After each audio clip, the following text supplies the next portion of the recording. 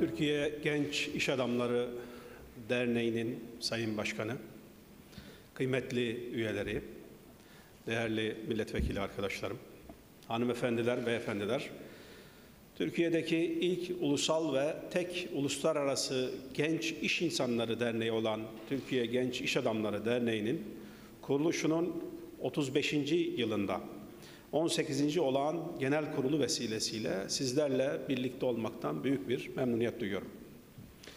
Başkan Sayın İlfer Çevikel ve ekibine, camianıza nazik davetlerinden ötürü teşekkür ediyorum. Türkiye genelinde 850 üyesi, 60'tan fazla sektör temsilcisiyle, dünya üzerinde yüzden fazla ülkeye ihracat yapan TÜGİAD mensuplarını, işlerinin, güçlerinin, imkan ve kabiliyetlerinin çok daha fazla artması ve bereketlenmesi temennisi ve duasıyla saygı ve muhabbetle selamlıyorum.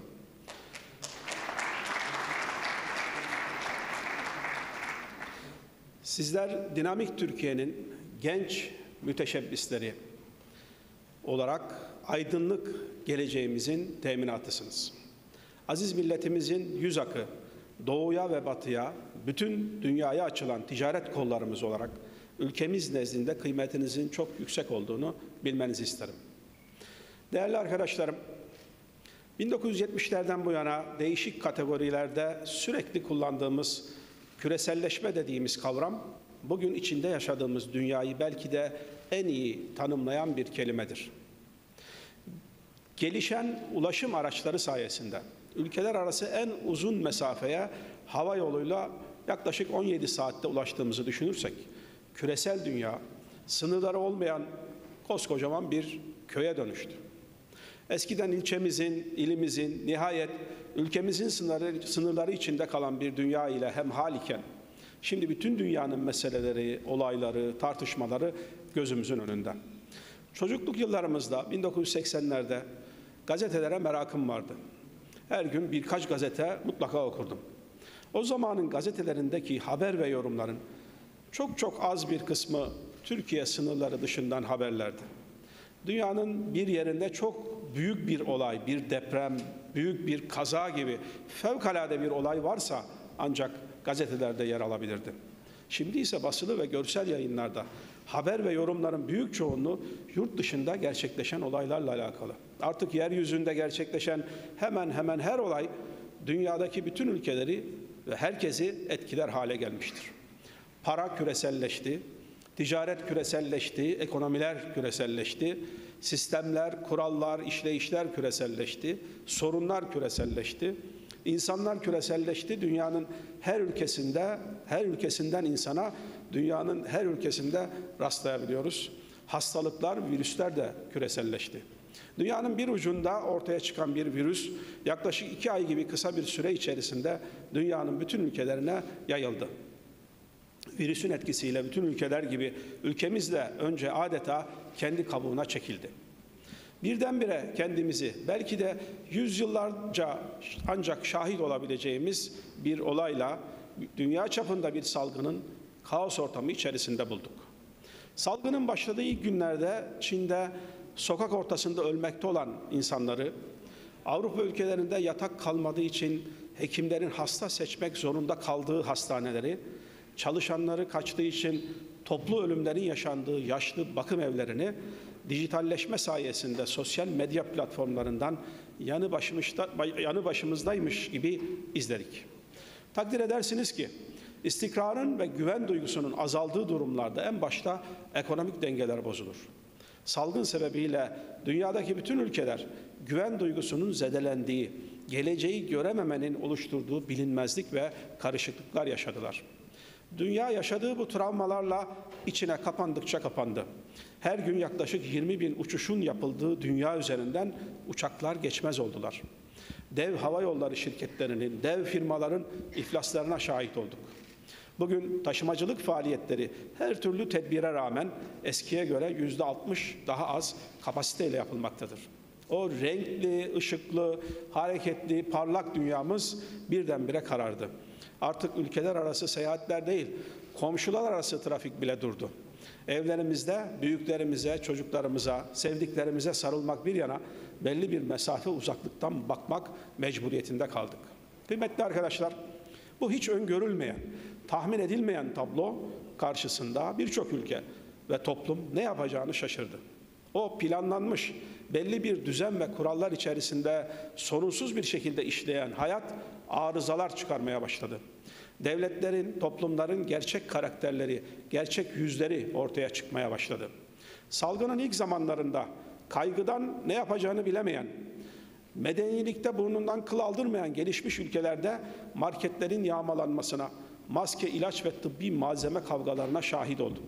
Bir ülkenin parasını verip satın aldığı sağlık malzemelerine el koyan başka ülkeler, ihtiyaç fazlası sağlık malzemelerinin bile başka ülkelere parası mukabilinde satılıp gönderilmesini engelleyen ülkeler, devlet ve toplum bazlı bencilliklere hep birlikte şahit olduk. Şimdilerde de aşı üzerinden adeta aşı savaşlarına tanık ederek, tanıklık ederek benzer karakter arızalarının tezahürlerini görüyoruz.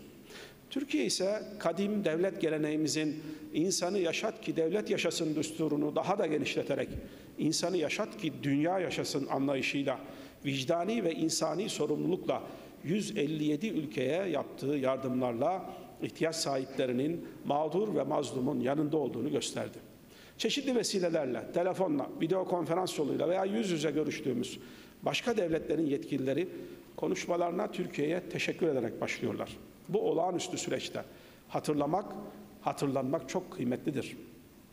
Hele hele bütün toplumların nefsi nefsi diyerek kendi içine kapandığı bir süreçte başka ülkeleri, başka toplumları unutmayan, unutmadığını gösteren bir tutum insanlık tarihi bakımından da çok kıymetlidir. Biz bunu tabiatımızın, karakterimizin gereği olarak yaptık, yapıyoruz. Ama bunun salgın sonrası yeni dünyada Türkiye'yi bir yıldız haline getireceğini bilmeliyiz. Birkaç ay önce ziyaret ettiğim bir ülkenin en üst düzey devlet yetkilisi, salgın öncesi dönemde Batı ülkelerine çok bel bağlamıştık. Sıkıştığımız, daraldığımız her zaman onların yanımızda olacaklarına inanmıştık. Ancak maalesef bir hayal kırıklığı içindeyiz. Bizi aşı konusunda da hatırlayacaklarını zannetmiyoruz. Türkiye bizi unutmaz, unutmasın demişti. Ben de cevaben eğer sadece kendilerinin aşılanması yeterli olsa sizleri hiç akıllarına getirmezler. Ama virüs nasıl küreselse aşı ve tedavi de küresel. Başkalarını düşünmeyi de öğrenecekler demiştim. Şimdi aşı savaşlarını, aşı ayrımcılığına dair tartışmaları gördükçe üzüntümüz maalesef artıyor. Böyle büyük bir felaketten bile tam manasıyla ders çıkarmakta bu kadar geç kalınması üzüntü verici. Ama ümitliyiz. Belalar imtihandır, sınamadır. Dünya bu sınamadan da çok şeyler öğrenerek çıkacak. Türkiye'nin asaletli duruşu, vicdani ve insani yaklaşımı şüphesiz her zaman saygı ile hatırlanacaktır. Biz dünyayı bütün insanlığın ortak evi olarak kabul ediyoruz.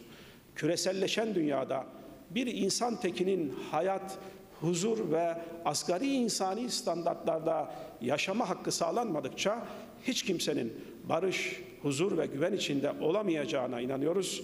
Bunu her platformda da dile getiriyoruz.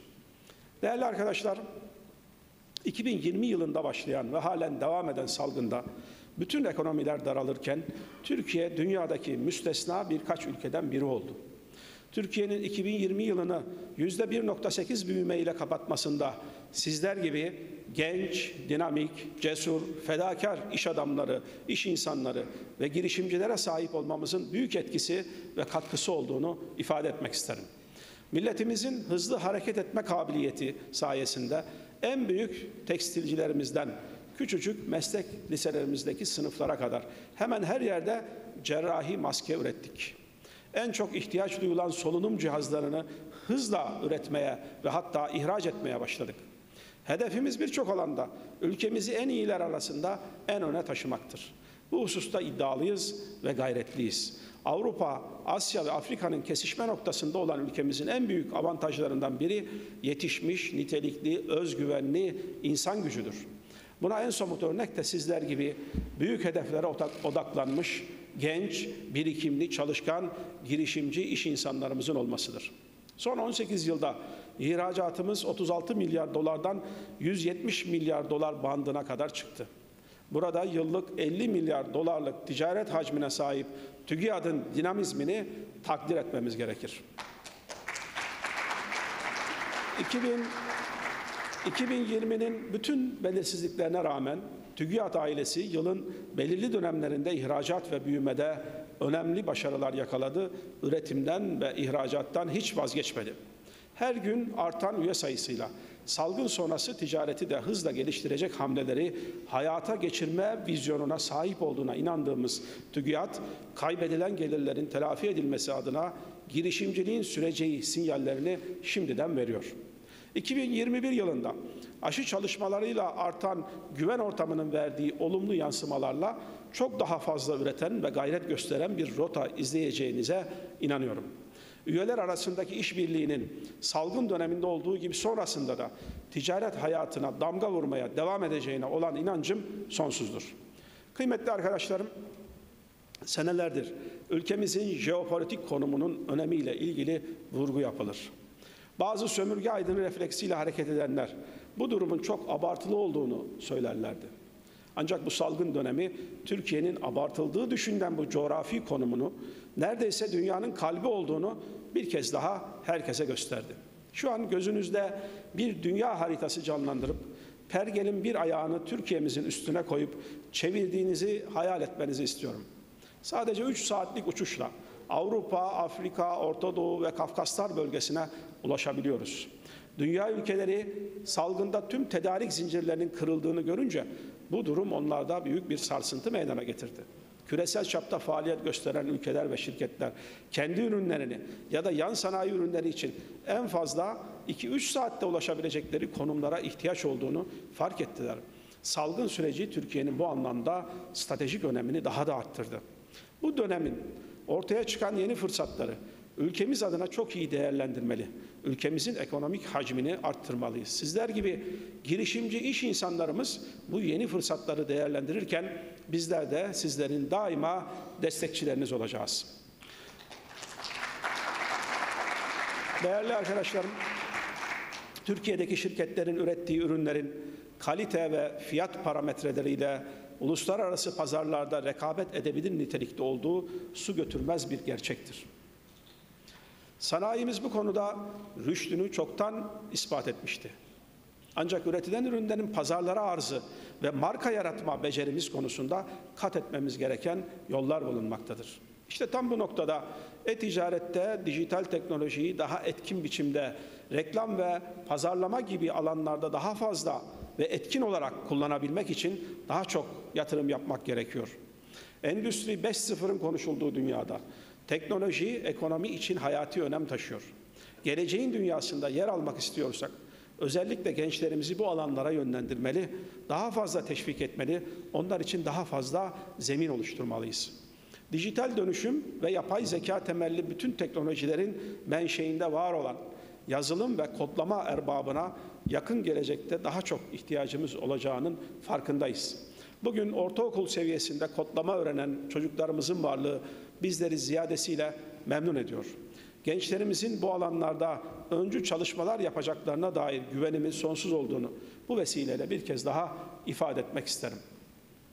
Kıymetli arkadaşlar, aziz milletimiz bundan 100 yıl önce sanayileşmesini tamamlamış dünya devlerine karşı insan kaynağının olağanüstü azmiyle İstiklal Savaşı'nı kazandı. Kuvayi Milliye etrafında kenetlendiği kadınıyla ve çoluk çocuğuyla dünyayı kendine hayran bırakarak küllerinden yeni bir devlet inşa etti. Malumunuz 2020 yılı Türkiye Büyük Millet Meclisimizin açılışının 100. yılıydı. Bu yılda istiklalimizin ilanı, manifestosu olan İstiklal Marşımızın kabulünün 100. yılı. Bu büyük olayların 100. yıl dönümünde geçmişimizi, yaşadığımız zorlukları ama bu zorluklar karşısında yılmamayı, geri adım atmamayı, bitmeyen bir azim ve gayretle canımız ve kanımız pahasına vatanımızı ve bağımsızlığımızı korumayı yeniden ve yeniden anlamak ve idrak etmek mecburiyetindeyiz. Yüzüncü yıl buna vesile olmalıdır. Maalesef bu büyük tarihi devletimizin kudretini, ordumuzun gücünü, milletimizin kararlılığını tam ve doğru olarak anlamakta zorlananlar da var.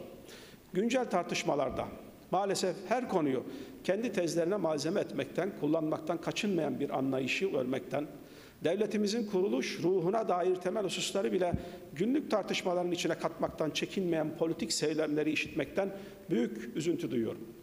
Basit siyasi amaçlar için bu kadar ucuz yaklaşımlar içinde olanları her şeyi kullanabilecek, suistimal edebilecek bir tıyneti görmek çok üzücü.